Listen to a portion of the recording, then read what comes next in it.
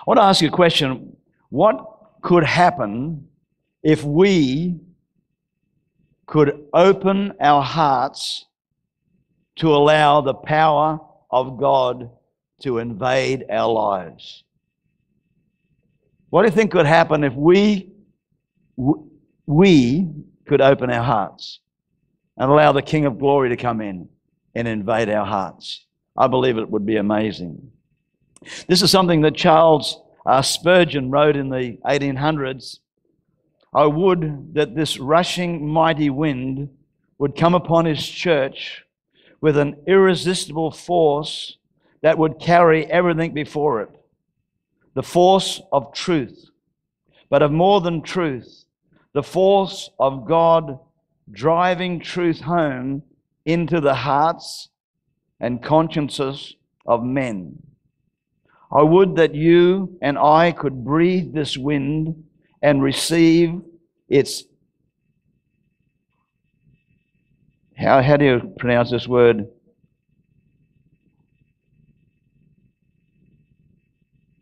Invigorating. That's how you pronounce it.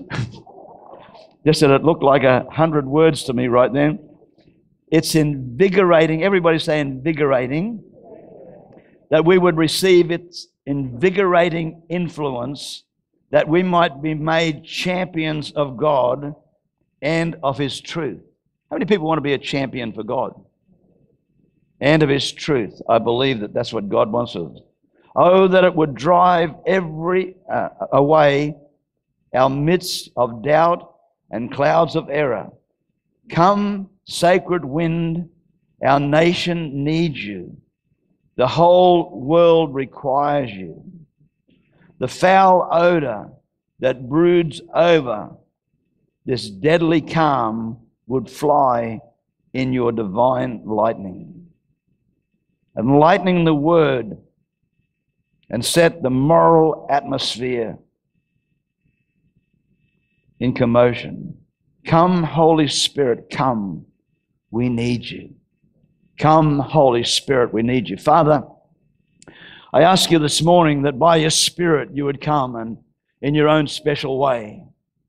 Father, I pray today that we would have eyes and ears open, our eyes to be able to behold the, the champion Christ that we have, an almighty God that's looking down from glory and, and calling us on, the mighty Holy Spirit that that wants to just move and, and, and help us to smash every wrong thought that comes into our mind.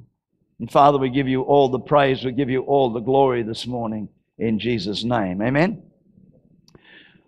I want to speak a little bit, uh, carry on from last week. I was talking about relationship and understanding what God has for us and, and our purpose and our plan. I know I've used the the, the phrase a lot don't just sit on your blessed assurance, but get up and do something for God. And I, and I believe that, that God wants to empower His church. He wants His church to rise above everything and to go out and be the church, to be a voice. I honestly believe that when John, who was the one that was preparing the way of our Lord Jesus Christ, I believe that that same atmosphere has to come again where there's a group of people that, that go forth to prepare the return of Jesus Christ. And uh, so, relationship. Everything in our walk with God has to flow from relationship. It's a very sad thing, but I'm going to read some scriptures here. In Matthew chapter 7, you'd like to have a look at it with me. Matthew chapter 7. It says here, not everyone, in verse 21, not everyone who says to me, Lord, Lord, shall enter the kingdom of heaven, but he who does the will of the Father in heaven. Many will say to me in that day, Lord, Lord, have I not prophesied in your name, cast out demons in your name, and done many wonders in your name? And then I will declare to them, I never knew you. Depart from me, you who practice lawlessness. They're, they're the words of Jesus. That's what Jesus had to say. Jesus said those words, and it's a sad thing. Everything in our walk with God must flow out of a relationship. Doesn't flow out of a relationship, there's a possibility we could go into error. error. You see, we can function out of giftings and not relationship. Preachers may have a natural ability, a natural charisma, or a natural thing that just draws people. Prophets, singers, musicians, evangelists, all these sort of people using natural abilities or natural giftings instead of flowing out of his presence or out of his anointing. And there's something that I believe has got to come into the hearts of men and women again is, a, is really that hunger for God. And, and if you can build a relationship, not just looking and being judgmental or whatever it might be, because you see, we come amongst the people that aren't perfect. Don't expect me to be perfect. Ask Nancy. Ask the dog. Ask my neighbor. no, don't ask him. He wouldn't get like me. but it's got to, it flows out of a out of that relationship. Ephesians 1:17 says, For the for the God of our Lord Jesus Christ, the Father of glory, may give to you the spirit of wisdom and revelation and the knowledge of Him. You see, if we can just come to Him, He is going to fill us with knowledge and wisdom. Wisdom builds its own house. I believe that in our daily walk, no matter what we're doing, whether we're mowing the lawn or whatever it is, but if our heart, if that innermost part of you, you see, the enemy wants to get hold of that. And he wants to he wants to take it in another direction. He wants to take it into a direction of, uh, of self of bless me. And a lot of the church we can just get in this bless me thing. But you see god wants our heart and, and if in in our daily walk and wherever we're doing and if in our mind we can just start thinking or singing to yourself, I keep falling in love with him. Over and over and over and over. And sometimes I'm just driving in my car and I, I start to sing. Not with Nancy in there because I don't want to embarrass her with my voice. but my heart, it just goes out to him. Keep falling in love with him. I love you, Lord, and I lift my voice to worship you. See, keep your heart tender. Keep your hearts tender towards God. And I believe that it's not striving, it's not struggling, it's not, not trying to, to make it happen. But if we can do that, I believe that God's going to start to create and develop something in your midst that, that will blow your thinking. How many people want your mind and your thinking blown away and see what God can do? Some in the name of the Lord or use their giftings for profit. I don't understand, and I might be incorrect here, but I don't understand why a minister needs a $52 million jet. He might need it. I don't need one of them. and it might be because I don't need one that I don't have a passion for it. But somebody else it may be.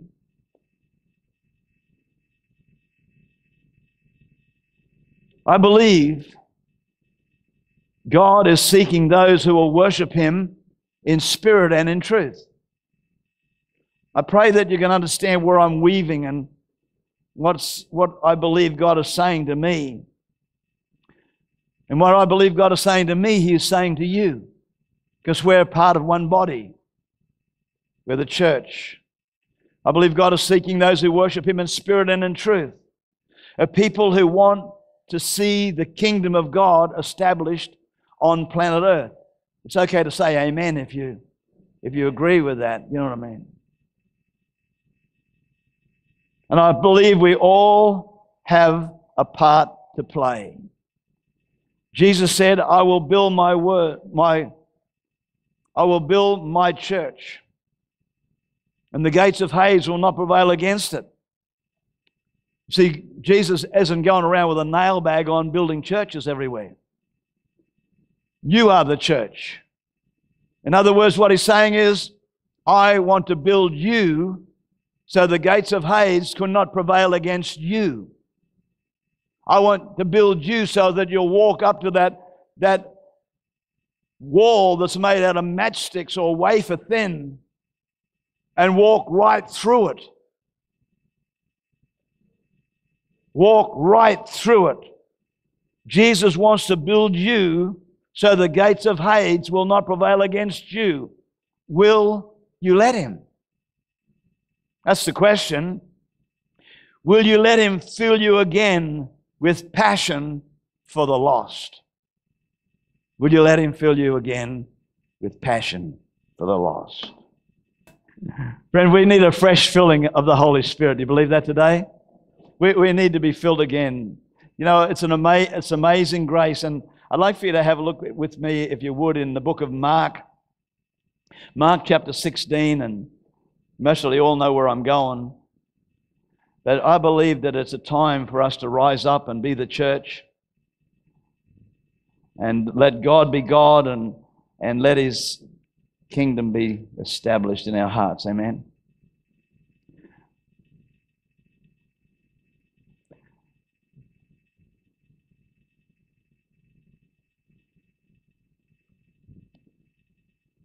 Holy Ghost. And Jesus said to them, Go into all the world and preach the gospel to every creature. He who believes and is baptized will be saved, but he who does not believe will be condemned. And these signs will follow those who believe. In my name they will cast out demons. They will speak with new tongues. It doesn't say they might, it says they will. They will take up serpents. If they drink any deadly thing, it will by no means hurt them. They will lay hands on the sick and they will recover. So then, after the Lord had spoken to them, he was received up into heaven and sat at the right hand of God. And they went out and preached everywhere, the Lord working with them and confirming the word through the accompanying signs. Go into all the world and preach this gospel. In Mark uh, 16 20, it says, And they went out. They just didn't sit around. They went out and they preached everywhere, the Lord working with them, God doing things for them. You know, these scriptures here, sometimes we look at ourselves and, and we think, man, but who am I? I'm a nobody. And, and all these wrong thoughts come into our minds. And, and, you know, I want to say this the disciples weren't perfect either. They were men and women, they were people just like us. And they had things in their minds and they, and, and they, they, they, they had problems. And you know, Jesus came and he passed and he, and, and he lived on this planet and, and he spoke to them. But when they, when they heard uh, the words of God, when they came to him, the, the disciples, uh, they, they, they didn't believe. Jesus came to, to, to, to motivate and activate these people, and I believe that that's what he's done for the church. He's come to motivate us, to activate us. He said, You shall receive power when the Holy Spirit comes upon you, and, and you're going to be a witness unto me. And, and what happens is, and I look at the disciples, and, and I see these disciples that, that Jesus has spent all this time with, and, and yet it says that he came and, and he upbraided them for their unbelief and the hardness of their hearts. Somewhere or other, the, their mind could not comprehend. They couldn't realize what, what God really wanted for them to do. And they were, they were in a total state of unbelief. And we, the church, at times we, we get caught up because the enemy wants to take us off course, wants to take us down a different road, wants to get us thinking wrong. And, and, and we lose sight of the Great Commission. We lose sight of the purpose that we're on this planet for. And when we lose sight of that which the disciples had done, they were there, and it says that, that the, the women came to them and that they were weeping and they were full of sorrow. And, and most probably saying to themselves, Oh, we, we thought this or we thought that, and we thought by now. And I know that when I first got saved, I thought Jesus was coming back within five years. That's a long time ago.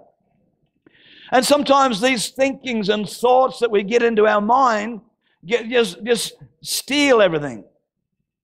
And these disciples were like that, friend. We, we, the disciples were weeping and, and in sorrow and, and there, and, and they, they ran in and they said, He's risen, He's risen, we've seen Him. And they didn't believe them. Then they met, met two others that were on their way home, and, and he, Jesus, it says, he appeared in a different form, and he spoke to them, and, and, and then he revealed himself as they, as they broke bread together. And they saw that it was the Christ, and, and, and they ran back to the disciples. They said, We've seen him, we've seen him, we've seen him. We've seen him. But they still didn't believe. Friend, the thing that you've got to, and I've got to get out of my mind is unbelief. Unbelief that, that, you know, yeah, I believe, but, but that man once said, help my unbelief. Because doubts get into your mind, think wrong thinking gets into your mind. I believe, but help my unbelief. And after that, he appeared to the, the another form to the two, and they went and told them, and they said, We still don't believe. We still don't believe. Jesus then came into the room and he, and he opens up his hands and he shows them the, the, the scars and things like that. And then something dynamic happened. The change came. I believe with every fiber of my being that God is about to bring change into his church. Why sit we here till we die? I have a great saying don't die till you're dead. Don't give up.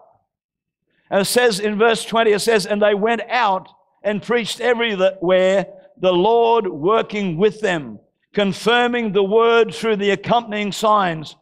And the thing that, I, that amazed me there is God working with them. God working with us. God wants to work with you. God wants to, and I've often said this too you must give God something to work with.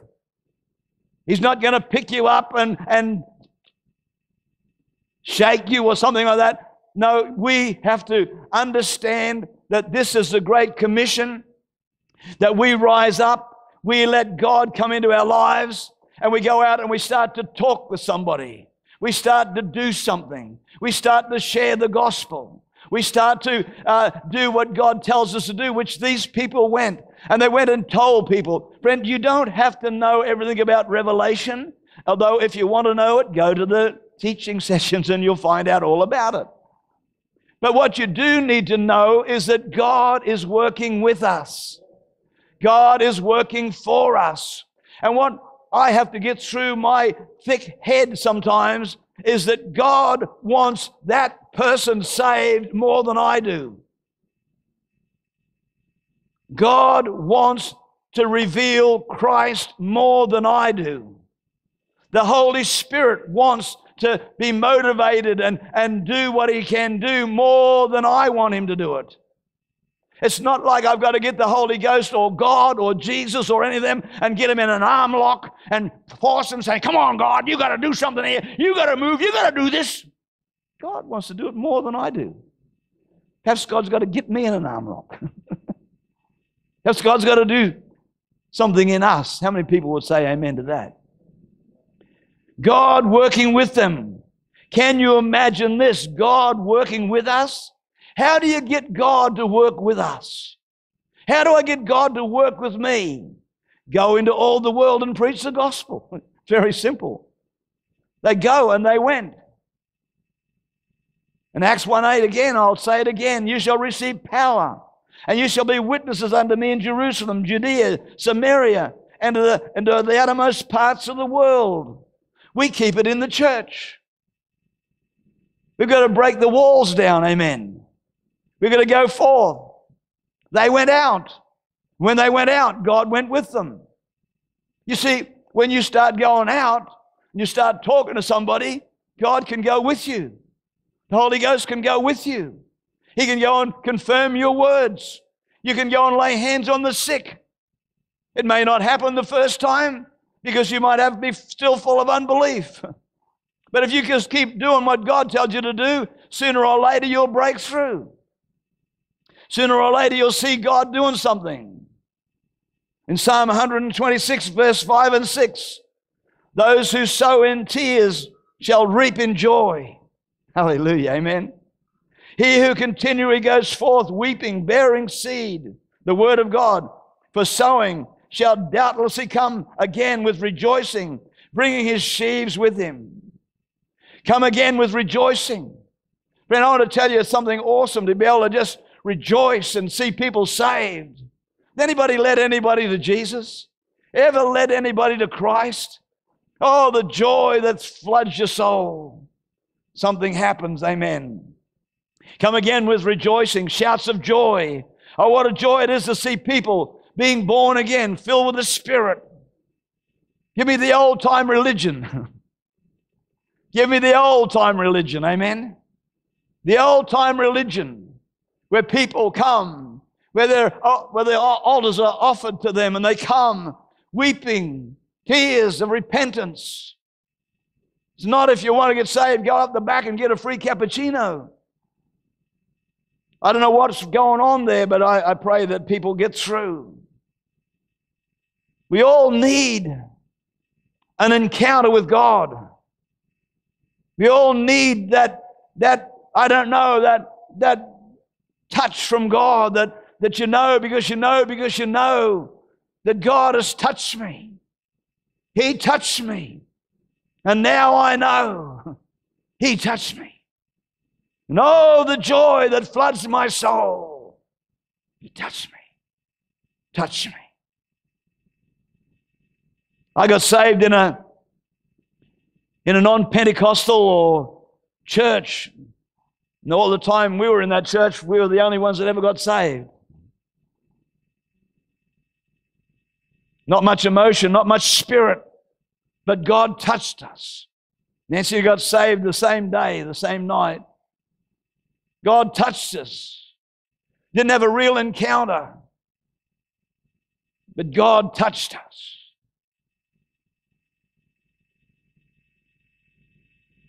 Didn't have that real encounter until one day. One day I came out the front and the power of God touched me. I had an encounter with God, and that encounter still lingers over your life. It still lingers around you. Friend, everybody needs an encounter. We need to have an encounter with God. We need to be able to come and stand and, and open up our hearts and let the King of glory come in. Let him, let him, let him somehow or other touch your life. Seen people just being touched and tears and all the joy. It's okay to, to be emotional. Touched us. Had an encounter. Must have an individual encounter. I was thinking the other day is a lot of people is thinking of Michael Jackson, Katy Perry, Mariah Carey, others. Brought up in the church, great giftings on their life, musical giftings, great giftings, and they perhaps never had that real encounter with God. They might have been relying on their parents they might have been relying on something else, but everybody needs an encounter. Amen. Encounter with God. If you draw close to Him, He says, I will draw close to you. And I believe that this is where we're at. Our church, this people, there's, there's something that's drawing. Give me a wave if you know what I'm talking about. There's something that's bringing us into, into, into, into His presence. I long to be in His presence. I long to be in His presence. That's the longing of my heart. Mark 10 52, Jesus said to the blind man, Go your way, your faith has made you whole. And immediately he received his sight and he began to follow Jesus. I believe that this is where God wants us for our faith in him to rise. This blind man cried out. And there's got to come a cry from the hearts of God's people. It's not just bless me, Father. It's not just this or that. But it's our heart wanting God, going after God. God, you are the most important part of my life. You are more important than houses and cars and this and that's. You will supply all of my need according to his riches in glory. You see, there are a lot of promises that God has given to the church that over the years have been eroded away that we almost don't believe it anymore.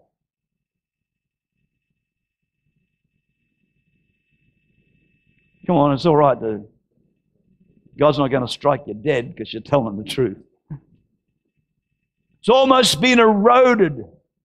It's almost not a part of the message anymore. It's almost not even in our expectancy anymore. It's all done away with. But you see, all those promises, my Bible says, are yea and amen. Is that correct? My Bible tells me that Jesus is the same yesterday, today, and forever. He says, My word shall not pass away, but my word will accomplish that which I've sent it to accomplish. So, what I'm saying is this is that everything that God has promised is yea and amen, and it's there. But you see, if we have drifted so far away, we're not under the spout where the glory comes out. And we, the church, if you draw near to me, I'll draw near to you. So, what God's looking for is our heart. It's our heart. He's not, if I can say it like this, He's not looking for perfection. He would never have chosen me if he was looking for perfection. He's looking for a heart. He's looking for a people that will, will even say, Not my will, but thine be done. See, man has got plans, but God's plans are greater. God says, My ways are better and higher than your ways. My ways are not your ways. But as we as God's people start to say, God, I want to come close to you. It doesn't matter. And I'm not saying this for any reason, because as far as I'm concerned, we've got the greatest group of musicians and singers in the world, because they're ours. Amen? But it doesn't matter if it's not perfect up there.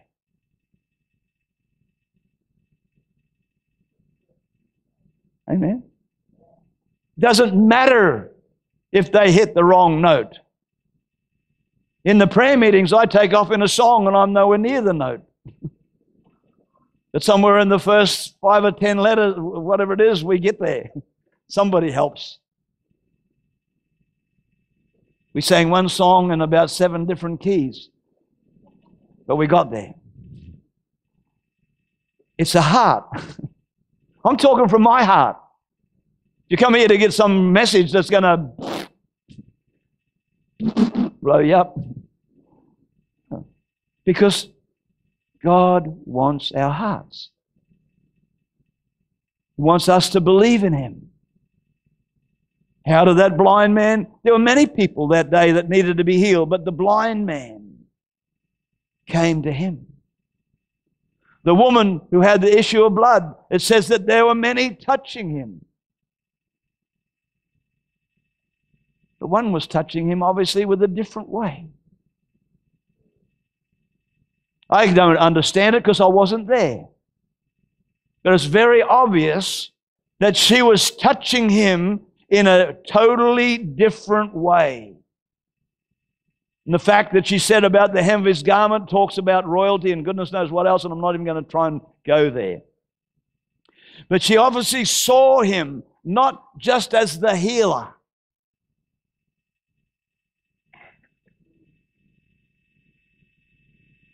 not just as a man that can give me what I want, but she obviously saw him in a different light that made her push through. And she said, If I can draw near to him, he will draw near to me. If I can but touch the hem of his garment. Friend, this morning, in our worship, in our praise. We're not just singing songs here, but in the midst of that, if you can reach out beyond yourself and into another realm and touch God, I want to tell you, glory will come down and glory will fill your soul. Hallelujah.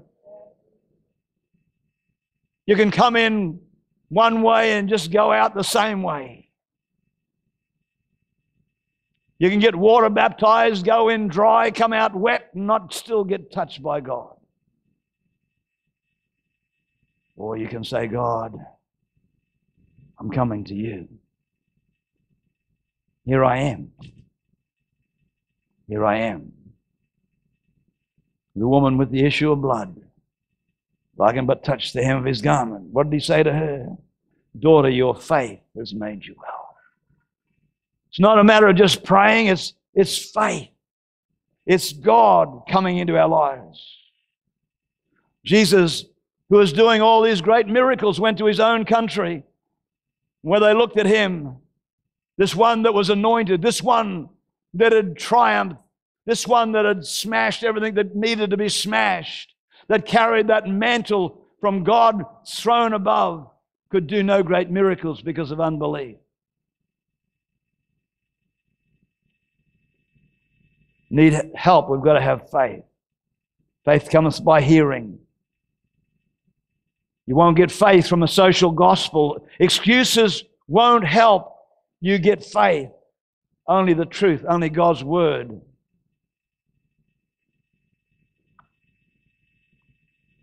For faith to be produced in our hearts, only the word of God can produce faith. God loves to confirm his word. These guys went out. They went out. Friend, we don't want to hear a social gospel, do we? She'll be right, mate. Coming to church really, really, for some people, it's religion. Coming to church, it's more than coming to church, isn't it?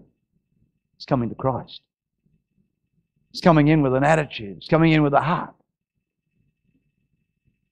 Coming in with joy. My son's got a couple of acres. He's got this big chook pen. I went into the chook pen the other day and I didn't become a rooster. Ken's been waiting for that one. Though some people say I crow a lot.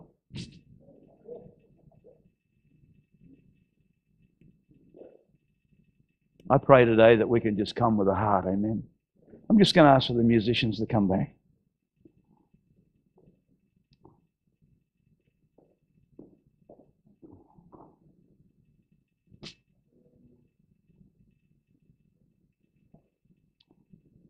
Holy Ghost.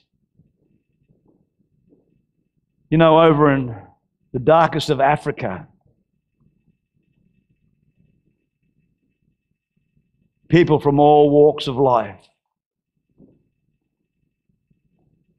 men, doctors, children are penetrating the darkness with the gospel. I was reading a story this morning, Reinhard Bonnke. Reinhard Bonnke went over to Africa as a missionary. First times there because he, he felt the call of God. Can I say this? Oh, you know, the call of God is something, but there's more.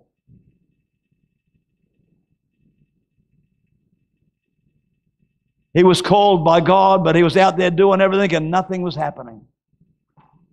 And God started to deal with his heart. God started to deal with his heart. You know what? He was ready to quit. He was ready to go home. He said, I was going to go home and get a job and forget all about the call. But praise God, he lingered long enough that God could get his heart. And God could reveal to him, and he revealed those scriptures to him. It is not by might, it is not by power, it is by my spirit. And for Australia, for the Sunshine Coast to get saved, it is not by our mind, it's not by our power, but it's by His Spirit. I want you to stand your feet. I want you to think about that skit. I want you to think about people that you could go and talk to. I want you to think about people that that you can go and share the gospel with. You don't have to have all your doctrine, all your philosophy. You need to come close to Him. Let's just worship. We just worship. Let's just worship.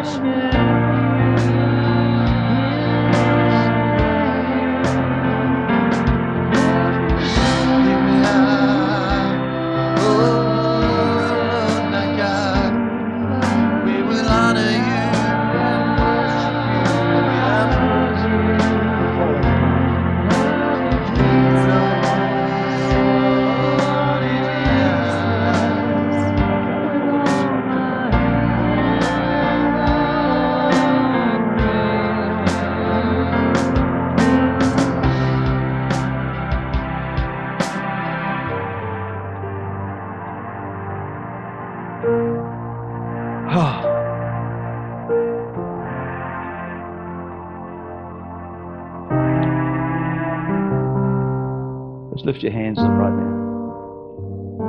Lord, read our hearts. Draw us close to you, Lord. We're coming, Lord. We're coming. We're coming. We're coming. We're coming. We're Coming to you, Jesus. We're coming to you. Just want to come to you, Jesus. You might be here this morning and you're not sure where you stand with God. I want you to know that God, if you come to Him, He will come to you. You might have thought, God, you can't use me again, or you'll never use me. God wants to use you. He won't abuse you, He wants to use you. He wants to fill your heart with joy. Just going to open this altar. I've, I've, I'm going to say this. I just feel this morning so inadequate. I feel so inadequate. I feel empty.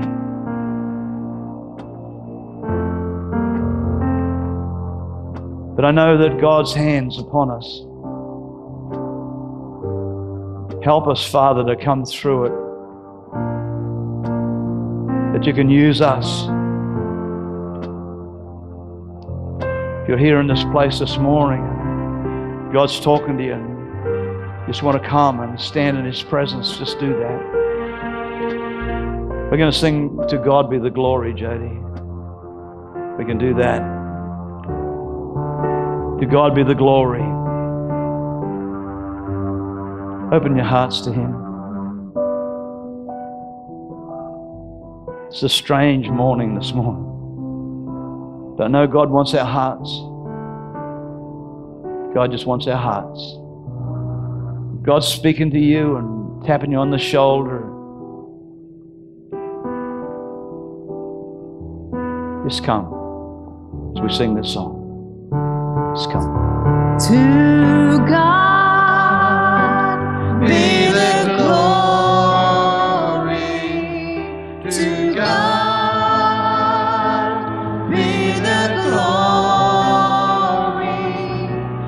There's a bunch of people here right now. I believe you want to be a voice. You want to be a voice. You want God to raise you up. You want to be a voice. I want you to quickly slip out the front of you. I want to pray with you, right? You want to be a voice. God's speaking to you about being a voice. You want to be a voice. You want to be a voice. You just want to be a, a, a Sunday Christian. You want to be a voice. One crying out in the wilderness. One crying, prepare ye the way of the Lord. You want to be a voice. You want to be a voice. You want to be a voice. God will raise you up. God will raise you up. God wants to raise you up. There are others. Quickly come. Don't wait. Don't wait. Don't wait. Don't wait. Oh, hallelujah. Come on. I believe this is from God right now. You want to be a voice. God's speaking to you right now. Quickly come. Quickly, quickly. Okay, Jane. To This God is it. This is it. This is it. This is it.